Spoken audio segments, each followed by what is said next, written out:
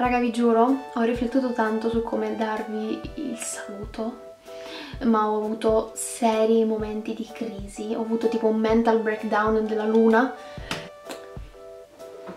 Uh, ok, allora facciamo così, faccio passare due minuti. Mi calmo.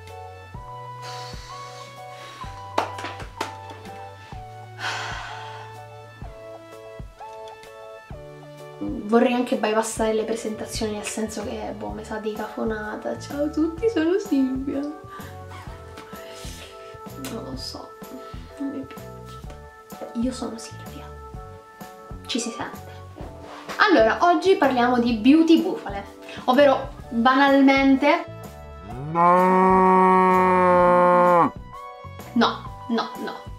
Non parliamo di vacche, parliamo di fake news. Le fake news ci circondano ragazzi, sono ovunque, dietro, di lato, in basso, anche dove non te le aspetti ci sono. E nella cosmesi sono veramente innumerevoli. È chiaro che ci sono cose che se non conosci ma senti solamente dire un po' preoccupano. È chiaro che tutti ci teniamo più o meno alla nostra salute io personalmente insomma, sono una che prima della vanità mette, mm, sì dai, metto la salute perché è troppo importante.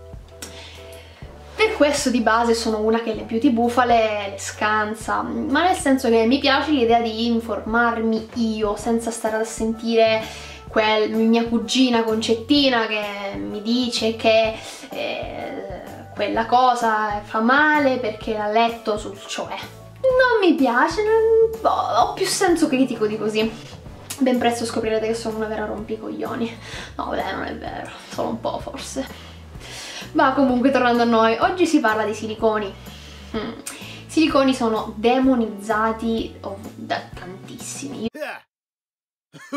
Io ho veramente ho assistito personalmente a delle faide, delle guerre sanguinolente tra nazi vegan e feticisti della plastica. Guerre fino all'ultimo colpo che in realtà, come dire, sono un po' guerre che non hanno senso, nel senso che la cosa che conviene fare prima di scegliere una fazione così, perché il nome Siliconi mi ricorda, non lo so, il nome di un ex e quindi non mi piace, cioè scegliamo dei, dei concreti motivi per avere un'antipatia verso un povero composto chimico, un, un povero componente chimico. Quindi basiamoci sui fatti. I fatti sono esattamente quattro ragazzi, quattro fatti semplici caratterizzanti. Prima cosa, qui monterò tipo un 1 che fa 1. Prima cosa, ehm, sono idrorepellenti, questa è la caratteristica principe, nel senso che questa è la caratteristica che gli dà delle qualità infinite, delle possibilità grandissime per essere utilizzato. Mm, idrorepellente, idrofobico, come volete dirlo ditelo, eh, significa essenzialmente che l'acqua non può né scendere né salire. Una citazione un po' per pochi. Nel senso che l'acqua non trapassa non, non viene attratta non viene espulsa non passa né destra né sinistra. È proprio è proprio c'è proprio un divieto d'accesso. Mettiamola così. Il che è il punto che fa incazzare tantissimi. Seconda cosa due 2. Um, sono composti fotostabili, questo significa che la luce non li altera in alcun modo. Stesso discorso per la cosiddetta um, ossidabilità, non sono soggetti ad ossidazione e in ultimo sono composti che chimicamente vengono definiti inerti, ovvero non partecipano, non, non scatenano non fanno parte mai di reazioni chimiche, quindi sono molto, sono i pacifisti della chimica. Essenzialmente di fatto in cosmesi vengono utilizzati due tipologie di siliconi, alcuni più pesanti e alcuni più leggeri.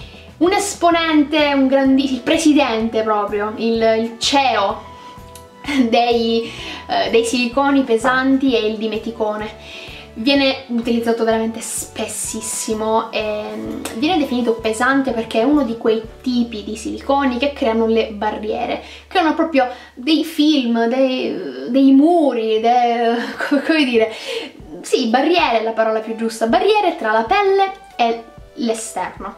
Essendo, come dicevamo prima, idrorepellenti, l'acqua non li scioglie, quindi se ti arriva acqua, l'acqua non rimuove questo strato e l'acqua che noi produciamo, che desidera fuoriuscire dalla nostra pelle, in realtà eh, non può farlo. Questo scatena un fenomeno che viene definito idratazione passiva, che non è una brutta cosa, non, non, è un male in realtà. Questi sono i classici siliconi utilizzati nei primer, sono utilizzatissimi anche nelle, nelle creme solari, quelle che vengono definite, guarda caso, insolubili in acqua, ci sarà un collegamento chimico? Non lo so.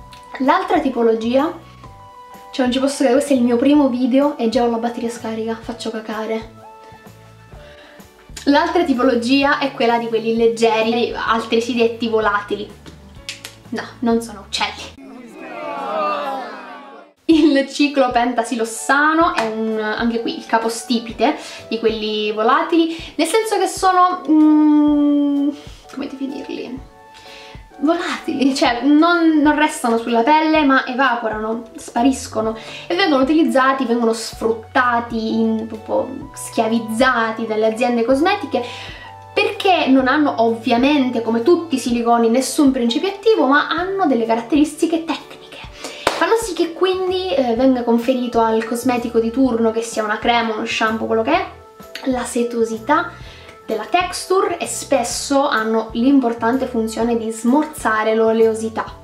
Uh, la critica che viene mossa verso i siliconi è che questi siano mm, occludenti, che non facciano traspirare la pelle. È un vilipendio nei confronti dei siliconi, perché in realtà i siliconi con questa barriera di macromolecole di macromolecole eh, hanno tra le molecole degli spazi um, abbastanza grossi. La, la, pelle respira perché comunque non vi è una barriera fitta al 100% ma c'è comunque uno scambio con l'esterno molto inferiore rispetto a quello che ci sarebbe se non fosse usato il silicone, ma c'è. Il Comitato Scientifico di Cosmetologia della Comunità Europea ha definito, ha studiato e ha definito i siliconi come dermocompatibili, quindi mm, non dannosi per la pelle, non irritanti e non sensibilizzanti.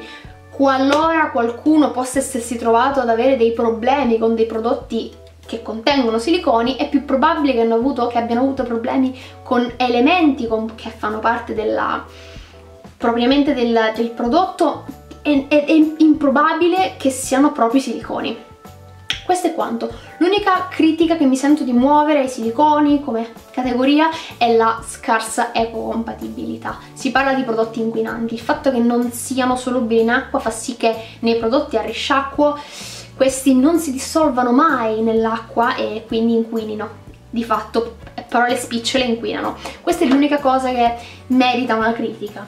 Tuttavia le leggi si stanno sensibilizzando al riguardo, si sta cercando di smorzare il problema perché in realtà non si è trovato un'alternativa naturale tanto performante.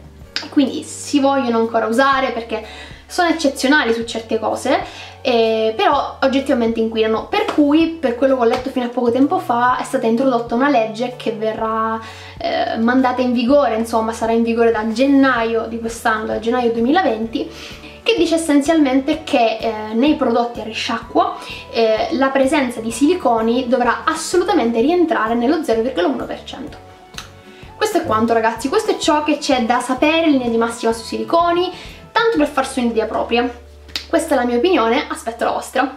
Un bacio!